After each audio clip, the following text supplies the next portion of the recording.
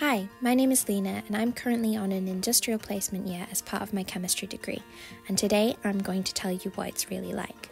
I chose to do an industrial placement because I wanted the flexibility of working and doing my master's at the same time, and I've always loved lab work, so doing a year in industry getting hands on experience just made sense.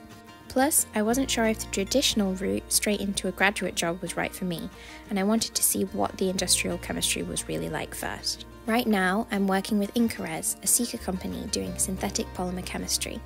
We focus on making the intermediates for sealants, bondings, and applications in the construction industry, such as roofing, flooring, and industrial coatings.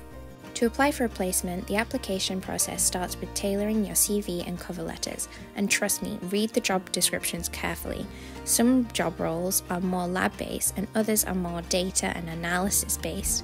So, depending on what you enjoy or what you're interested in, it's up to you to apply to these and choose what you prefer. I got a lot of support from the university, and my placement supervisor gave great feedback on my CV and cover letters.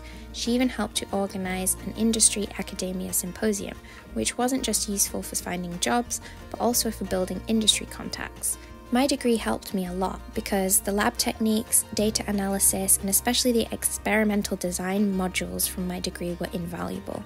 Every day, I find myself brainstorming and using organic chemistry knowledge in real life, and I now see the real world context behind what I learned in my lectures. This placement has built my confidence massively.